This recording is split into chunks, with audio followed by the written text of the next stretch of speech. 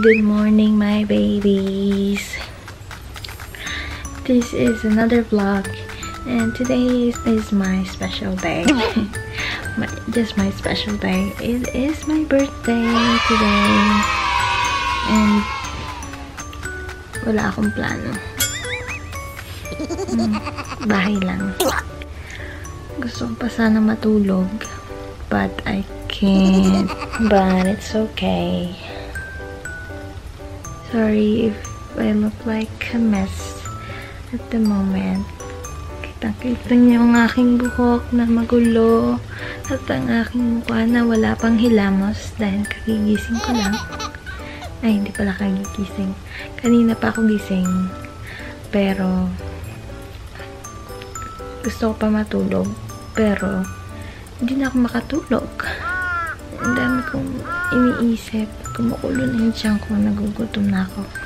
Anyway. Ano bang gagawin ko today? Hmm.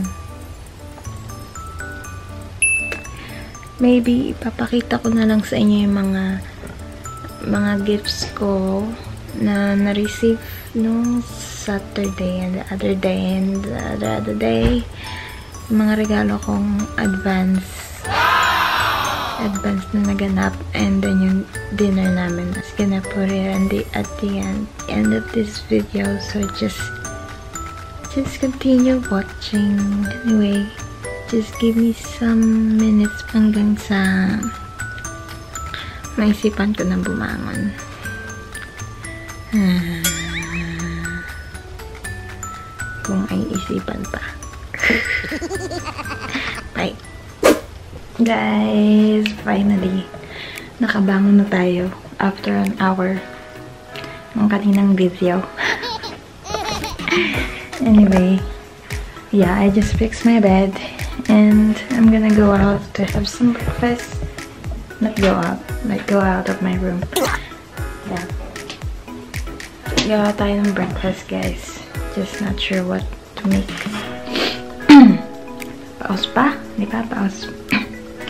Lagi akong paus kapag bagong gising. Not sure. Not sure why. But yeah, let's have breakfast. Ba yan, nadidistract ako sa ano. Alisin ko. Go away. Nakadistract. Ito tayo tignan.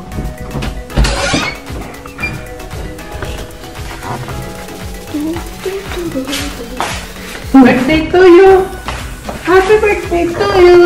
Ang laki ko! Hindi. birthday to you! Oh my God! Pinakbit your hand!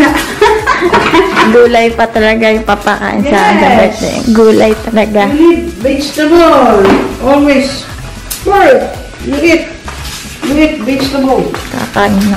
Oh, And barbecue! umaapaw na yung ano mo. Pork barbecue! Anong kakain niya? Ano gusto nagbablagi? Siyempre! Magkakamay ako. Tsura ko din. Basta, basta daw ako nagpa-vlogging. Eh, ganun naman talaga.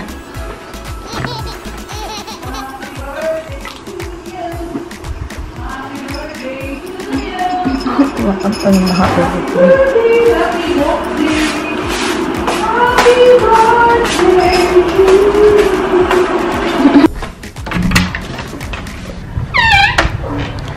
Guys, picturean natin yung kain ni Papa.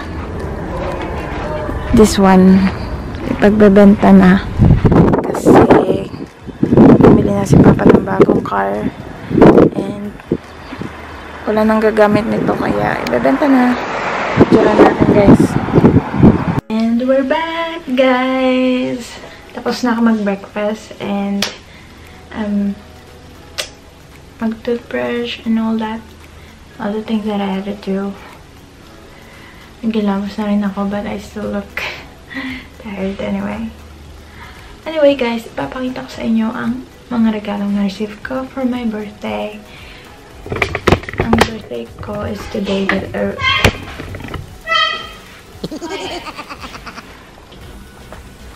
ang birthday ko ay today, but na-receive ko na yung mga regalo ko before even my first time.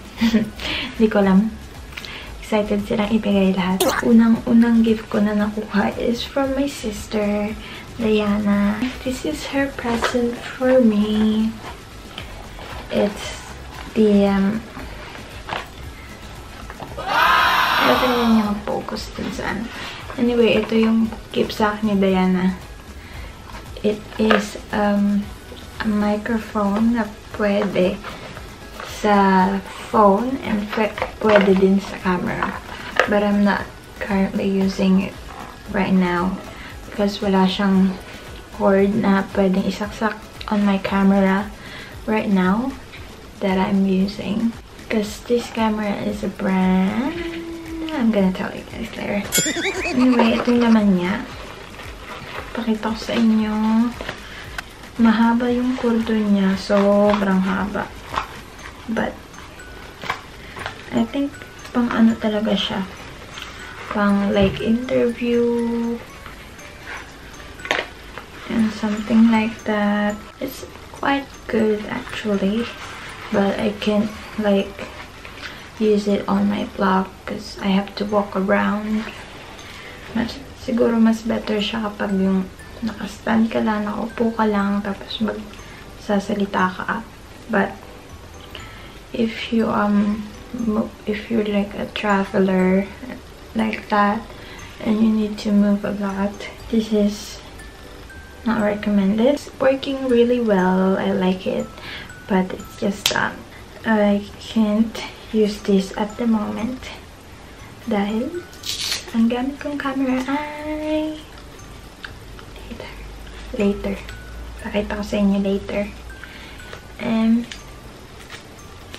ito siya, meron siyang ano, meron siyang, may buhok. buhok talaga. Ito, meron siyang parang microphone na malinggot. Malinggot talaga. Tapos meron siyang clip you can put it on your shirt like that or somewhere tapos maririnig niya na yung maririnig na ng clear yung boses niyo. Anyway guys that is my first present for my birthday. Ang tatak niya is boya. Boya. It's nice. Yan. Yan ang specs niya guys. Ito naman ang aking next, next, next na regalo for my birthday. Ito, nakita nyo na. Nakita nyo na rin yung microphone. Nakita nyo na rin to dahil pinakita ko sa inyo last video. Is it last video? No, last last video. Yeah, because my mom, my mom gave this to me last week, I think. I forgot. Anyway, this is my second present. It is a Colette bag. I'm not sure if it's like a brand in Australia, but it is famous. Not famous, like it's all around the place. Wala siyang mamimiss na shopping mall. Wala, wala, wala tong store na to. They always have Colette store Yeah, even in the city. Anyway, ito na yung bag. Tada! It is a yellow bag. It's yellow bag. Purse or something. Whatever you call it. It has this chain thingy na gold. And then the inside is pretty simple. Meron lang siyang zipper. Then there's a little pocket for cards siguro ganun. And then you can put anything inside like your phone, wallet. It's quite big. Yeah, that's it. I like the color of it.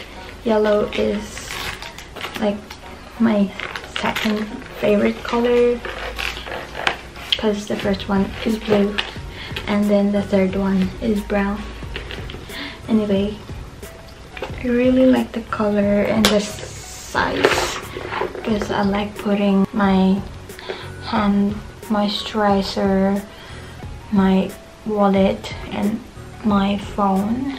Those would fit in here and yeah, I can't wait to use it kapag meron akong pupuntahan because I don't really go out that much. Yeah.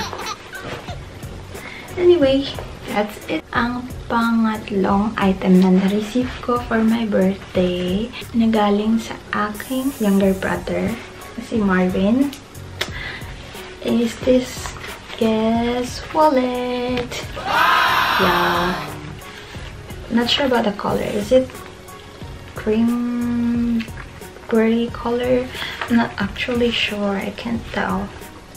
But yeah, it's a guess. It looks really nice. It got this um, zipper on the back for coins.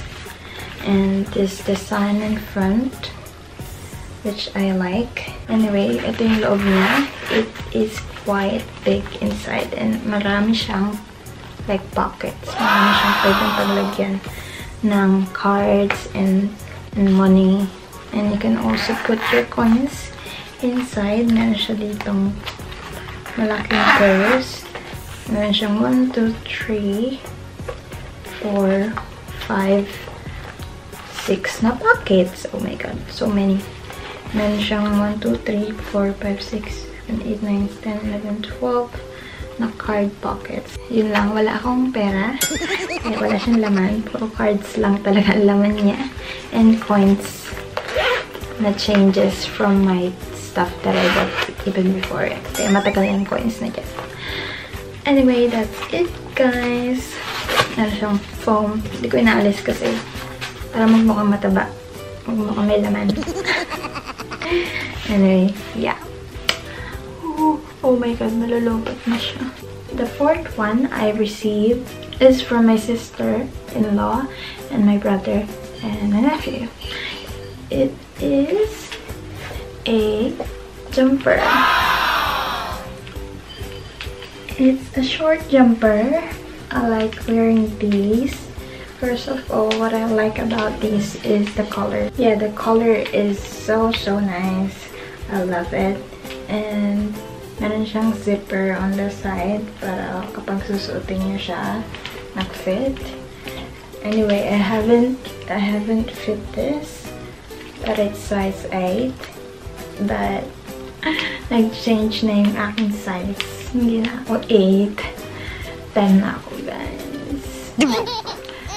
guys, after a year, I gained weight. Stress. Anyway, meron siyang pocket on front of it. And it's a short, short. Meron din siyang pockets on the sides, on both sides. Yeah, I like it. I'm gonna try it and show you guys later. This one, the fifth one that I'm gonna show you guys, it it's not from anyone. It's from myself. Because um, I wanna get myself something that I want like a reward. Kasi birthday ko naman, ganun. Gusto ko maging happy and I want to get this dress. Not this dress, but I want that color and the design. So, yeah, I got this dress for myself for my birthday. To be honest, I don't really buy stuff. I only buy things when I needed it. And Eto na siya, guys. Diba? It looks pretty. I like the print. It's very spring. Spring. There's like flower prints on it. It's yellow. yellow. I love yellow and blue. But I want a yellow dress at the moment kasi wala akong kahit anong dress na kulay yellow. It's all like blue, red. That's how I figure out na size 10 na ako dahil this one is size 10. And this one is on sale as well, which is good. So I got it for $25. Ang original price niya is 35 so I saved like like a 10 bucks. May zipper siya on the back.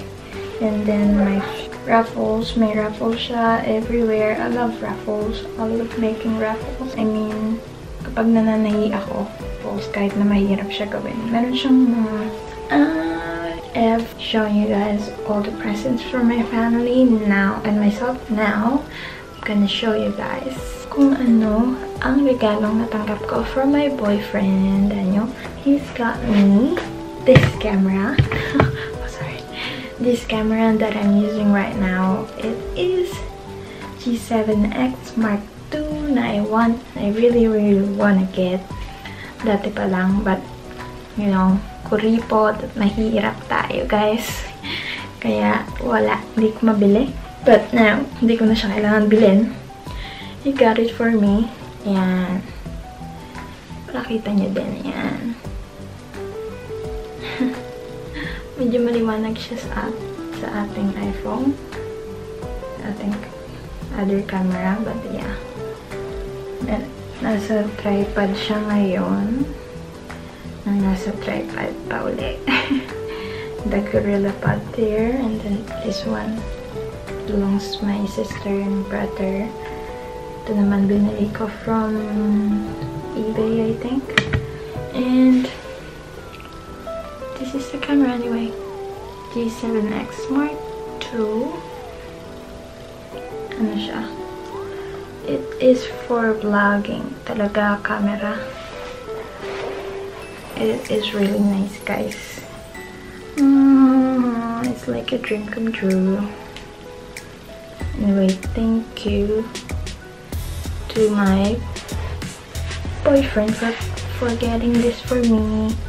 I asked him not to, but masyado, masyado siyang mapilit. So, ayun na lang. Wala daw kasi siyang maisip na regalo sa akin. So, yun na. Pinayagan ko na siyang bilhin. Kahit nasabi ko, nababayaran ko siya. Pero sabi niya, regalo ko sa'yo. So, yeah.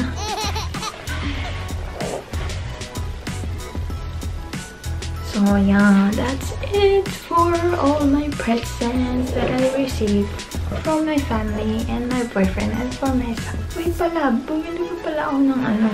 Meron pala akong binili na skirt. Lastly, kasama ng dress na binili ko para sa sarili ko. I also got this skirt. This skirt. Si Dan ang pumili nito. So, sabi ko, why not? Anyway, I'll try it on and show it to you guys. Anyway, this is sale as well. Ano siya dati? $30 and now it's just $13. See how much I saved from that. Anyway, guys, I'm gonna show you guys to try it on and hopefully that is just akin because I don't really know any fashion style. I'm not good at fashion. Maybe I should watch a, a fashion or fashion vlogger or something. I don't really, you know, watch any fashion or makeup kasi I can't invest on those like makeup. I can't buy makeups all the time. I can't buy dresses, clothes all the time kasi yeah, we're saving money. And hindi rin talaga mahilig bumili ng mga unnecessary stuff. Most of my clothes, bigay ng mother ko. Tapos yung iba binili ko sa Changi or mamurahing store. And minsan lang talaga ako bumili ng mahal kapag may event talaga na kailangan maging presentable ka and all. And the makeup, I'm not really into makeup.